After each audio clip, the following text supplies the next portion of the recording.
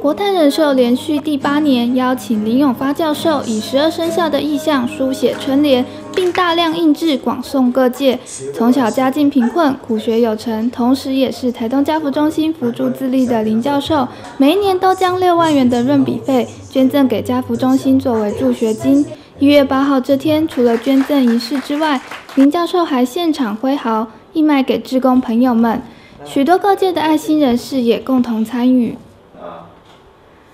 台东有一千五百多户家庭，将近三千名儿童是家福中心辅助的对象。每年寒暑假便是筹措学费的时候，透过写春联、捐赠及义卖，实际行动也借此抛砖引玉。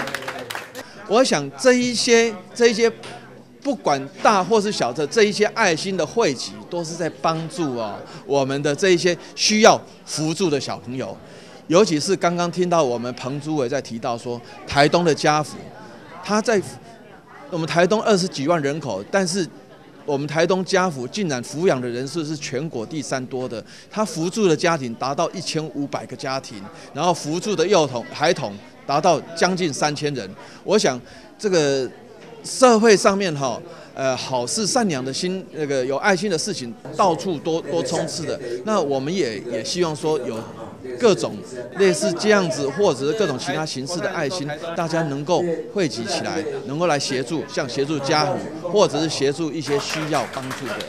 募款金额的多寡是其次，大家的响应才能结合更多力量。我们台东的小孩子，如果不透过教育来来让他们有一个将来改变环境的一个能力的话，那么想要让他们脱贫就比较困难。啊，我们很相信这一点，就是透过教育，绝对可以改变他们的命运。那我们需要大家的帮忙。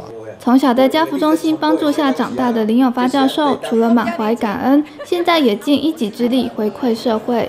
呃，马年我觉得是呃非常好的一年哈。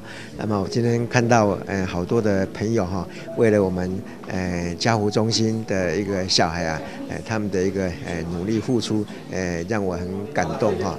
那么呃新的一年也祝福大家呃马年如意，事事平安。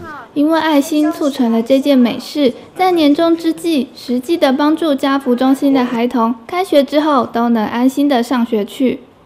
刘一慧、刘瑞文采访摄影。